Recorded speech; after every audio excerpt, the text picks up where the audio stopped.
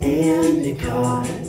He's small and he sleeps a lot. He's orange like an apricot.